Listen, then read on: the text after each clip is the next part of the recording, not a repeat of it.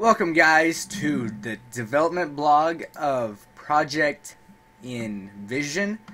This is going to be the second release currently of Whoa, sorry guys. This is going to be the second release currently of Project Invision and I am just going to walk you guys through what I'm doing in each little video. So, currently I am going to use CryEngine 3 as you can tell by the background. Don't know if you know anything about uh, game engines, but this is a very advanced game engine that is very nice and smooth and easy to use. And I am using this on the gaming PC currently. What is Project Invision? Project Invision is going to be a role-playing game similar to Arma 3 Life, but built on an engine that would support it better. There is a game that's coming out. I can't remember what it's called, but it's also by the creators of Arma 3 Life, the server owners, and it's it, it's pretty nice. Um, it's it's a good thing that they got. Um, so currently I am just doing the train. This is going to be the first train, I think. I have actually reamped and made a new train. Or, well, I'm still using the same train. I've just customized it a little bit currently. I have some objects around and this is going to be for the demo. What the demo is is the demo wow, multiple re re repetitions. Repetitions. That's how you say that. What the demo is is a version of the game that has been released in order to you know make it make it look better. And for the trailer there we go. What I am currently doing is raising up the terrain so that you can actually stand on it and you won't be swimming 24-7 what CryEngine does is it spawns you in a world filled with water. Just straight water. That's what CryEngine is built around in my opinion. They have the most beautiful water ever. Um, but the whole thing here is love. No, I'm messing with you guys. I'm just messing with you. But Crying or Project Invision is going to be a game built around role playing, as you can tell, that has complete freedom. More than just complete freedom, but advanced freedom. The only rule is do not hack. RDM, murder, random killing, cops killing, cops doing drugs, cops becoming corrupt, all of that is allowed. And it's going to be built for high quality graphics, not low quality graphics. It's going to be built for beauty. I'm thinking about releasing it on PS4 and PC and Xbox One, of course. And it's it's going to sort of, in my in my in my aspirations of this game, I hope that it follows along with the retail that Battlefield has, not Call of Duty, because in my opinion, Call of Duty is a cartoon game. You know, it's not really that realistic, but it's a lot of freaking fun. What I want this game to be is fun and realistic. Sort of like Battlefield, in my opinion. I'm going to get the trailer out, and once the trailer's out, I'm going to make it look really nice. I'm going to do the recording on a gaming PC and everything. I'm going to hopefully get it sponsored. But for now, this is what you get to see. DevBlog is not going to be a 24-7 thing. It's going to be a rarely released item.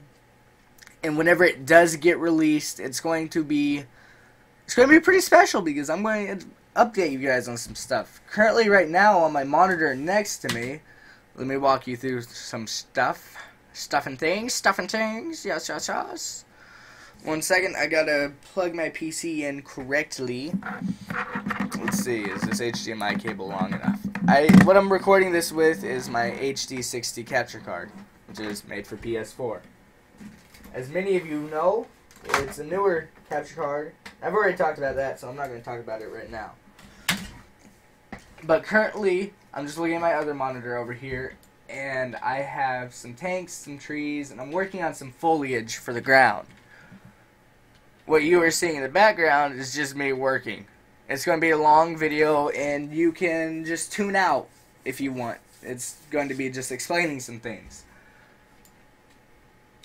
For what I have right now on the other monitor has helicopters, Humvees, and tanks, and a road connected to a big bridge that looks like it's been pretty much destroyed down at the end in a past. And then I have a little dock with a boat that I can drive around on. But that's not what we're worrying about right now. Right now, we are worrying about the game itself. Yeah, America. Whew. America. Alright, I'm just messing with you guys. Once again, I'm sorry, I like to kid a lot.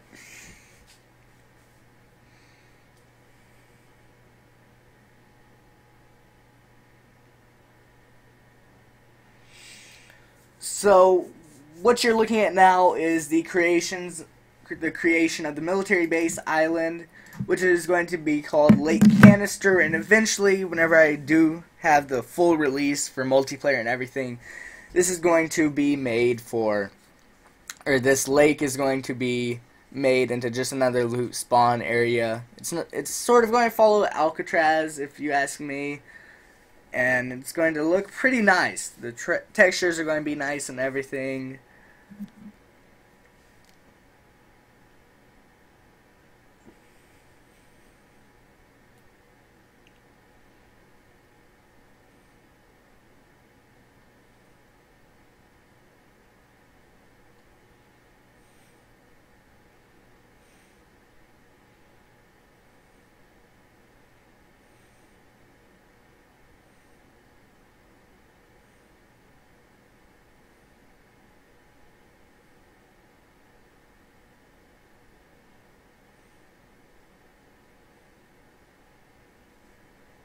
Alright, what you're looking at now is just the drop-off cliff where it's going to sort of go down to the bridge area for the exit.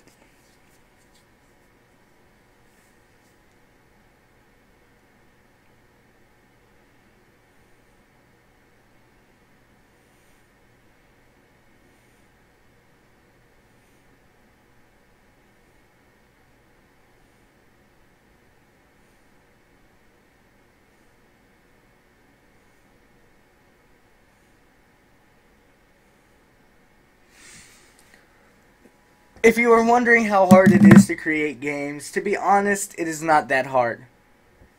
I don't even know why I just said that. Just go with it. It is pretty hard to create a game, but the reason I've done I've been working on Project Invision by myself for quite a while now, and I just now decided to add it to a better looking engine other than Unity, free version of Unity.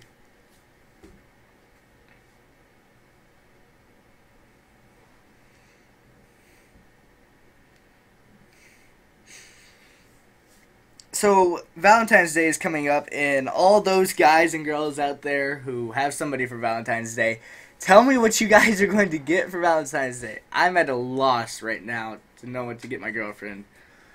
I don't know what to get her. So yeah, I'm thinking about going for a. It's a long story, and I'm not going to let you know my personal life. So just just watch.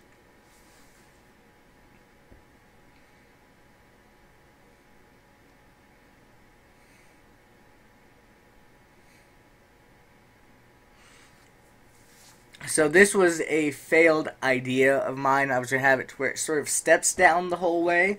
But I, as you can tell, I did not really follow that. So I'm just going to skip forward in the video a little. Nah, I gotta talk through the whole thing. 30 minutes of talking, yay. Nope, I'm joking. I'm just going to skip forward. So right now I am looking at just the... You know what? You guys you guys don't need to hear this. You can just watch this with some pretty freaking epic music in the background. So that's what I'll do, you guys. Um yeah. Peace out, boys.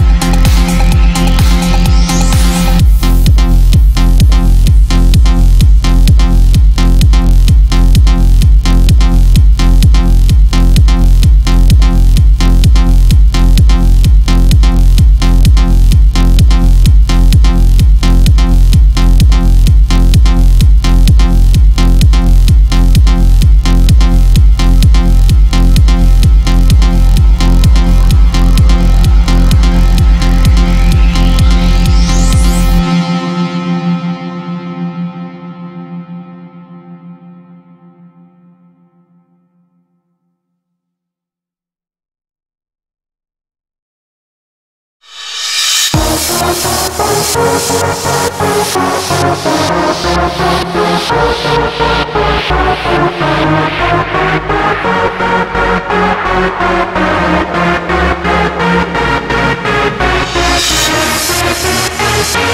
back.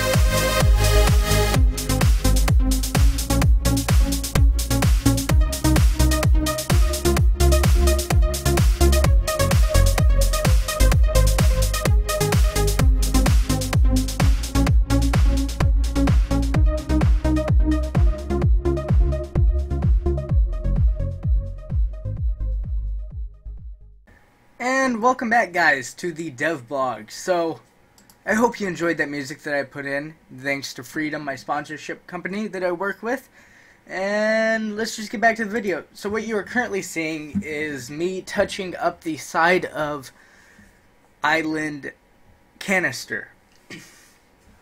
And the reason I'm doing this is just to give it a little bit of a fade effect, but right now while looking at it, it doesn't really look that good with the gravel, so I end up taking that out in a later edition. What you're looking at, that tool is to select the color that the, it will fade in with. So that's really nice tool in my opinion. I really like it. I really like the way the colors look and everything, how they fade in and out. But I'm just going to do this all the way around, sort of give it that fade effect, or at least I thought it would look like a fade. But yeah. This is just the brush settings. I think I set it down to smaller so that I can fade it even less and try to get that color fade going without actually bringing up the texture. Yeah, that's what I'm doing there. Make sure that I get it nice and smooth and everything. So I hope you guys like this dev vlog. It's not something that I'm going to do all the time, but I will definitely do it most of the time, or some of the time, not most of the time. The next dev vlog, I'm thinking about releasing it next week to give you some a progress update, and then I'm going to do the tech demo of the game, which is basically just showing off the dip the game before it comes out to try to get some backing and everything. If you would like to support the game, eventually I will have a Kickstart Kickstarter up and running for it. There, that way I will be able to get a better computer for rendering it. Because once I start adding foliage, trees, roads, you know, objects, it's it's not going to be able to run that good on my gaming PC because this is a very, very strong engine. So if you're wondering what those boxes are, that is the default texture that CryEngine uses for terrain until you raise and lower it.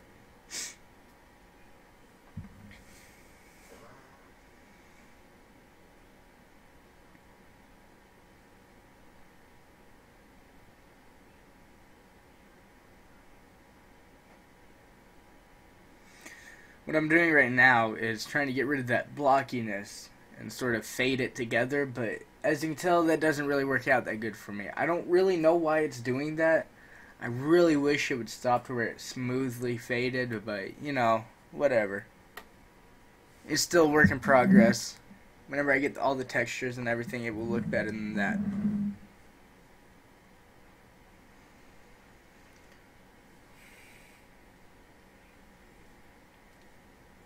So yeah, guys, I am about to invite you to the development team. Anybody out there, I do mean anybody, I will if you speak a different language than I do and you don't understand English, which I don't know why you would be watching this then, but if you don't understand English, um, I would still like to invite you to the development team. Not everybody can join. I mean, you got to have some experience or you have to be talented or or at least be willing to learn the programming that this is or not. Well, I mean, I'll do all the programming and everything, but I need people who will help me with 3D modeling. I'm not really the best at 3D modeling.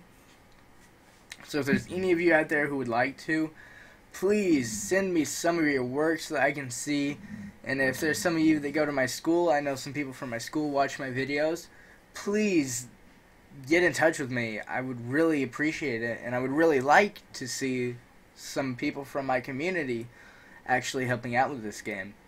That would be something really, really, really special to me.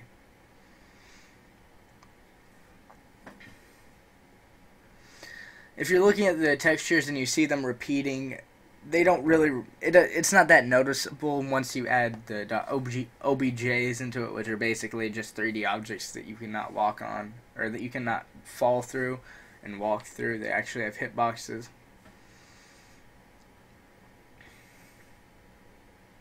So here I try to add that little bit of gravel effect, you know, sort of like a road, I think, or a path, but that doesn't work out, and I eventually just use the built-in road editor.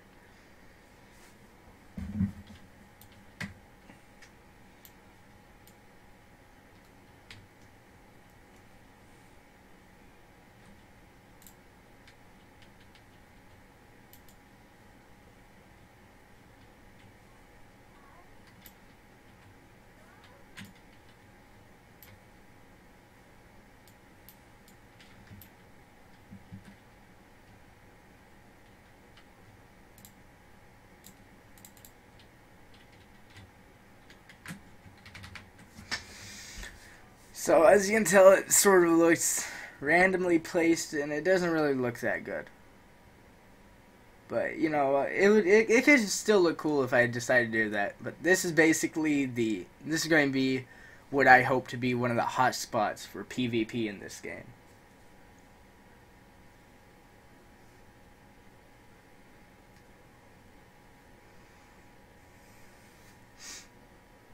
One second, guys. I will be right back. Until then, just keep checking this out. And if you still made it this far in this video, thank you. You are a true comrade.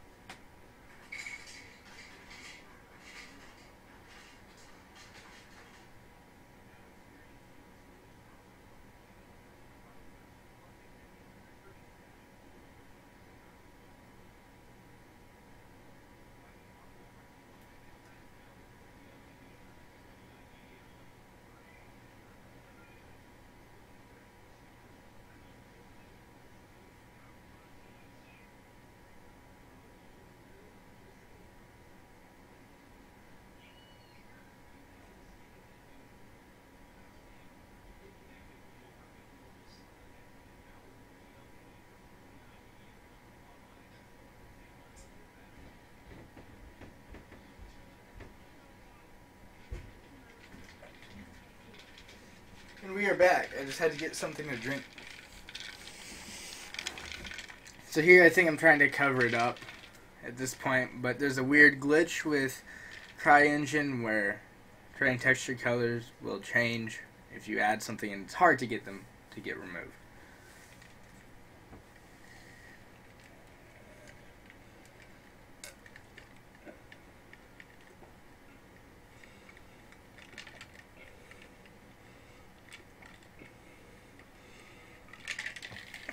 So here's where I add the first object into my game. I think this is a bridge that I turn into a ramp. And eventually, I think, actually in this video I add a vehicle and I just ramp it off the side. Just to see how good it is.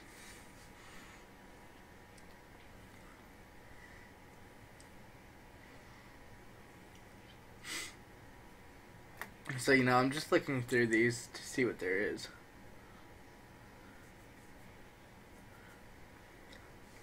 No, here's what I added.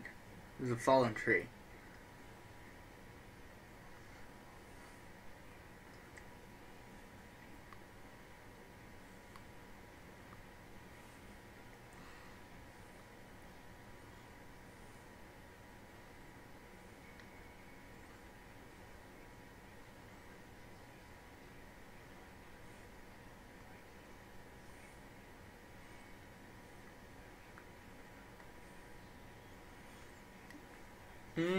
I don't think it was a fallen tree, actually.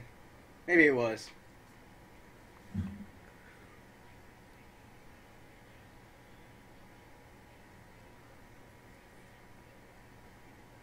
Let's see. Yeah, that's what it was.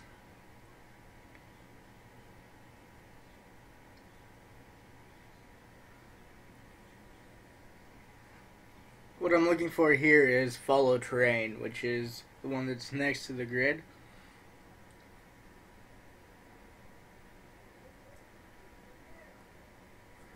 I think I was looking for no, that's what I was looking for. I wanted to make it sort of um, come out of the surface.